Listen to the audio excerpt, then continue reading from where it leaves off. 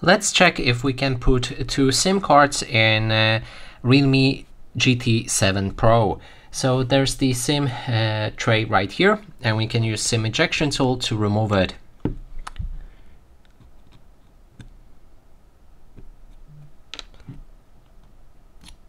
And when it's open, we can find one SIM slot and another one on the other side, which confirms that you can put two SIM cards inside of this device.